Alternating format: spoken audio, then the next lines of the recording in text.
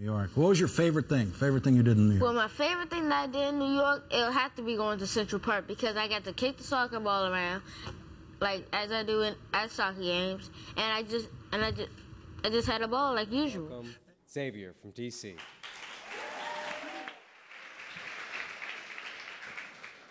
The title of my poem is called My School is Closing. I heard the most terrible news, and it's left me so confused. My school may be closing, and I am shocked. I would do anything to turn back the hands on the clock. ATA is the best school for me and the only one I choose. But if you close our doors, we lose.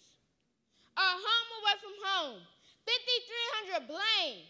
This would be such a shame. I love showing my Jaguar pride and wearing burgundy and tan, so to save my school is the plan.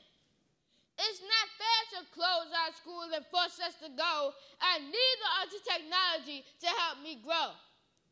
We know our math and reading scores may not be the best, but we have potential because our worth is more than just data and tests. Moms, dads, community leaders, we need your help to save our school. Let the public charter school board know that closing ATA would not be cool.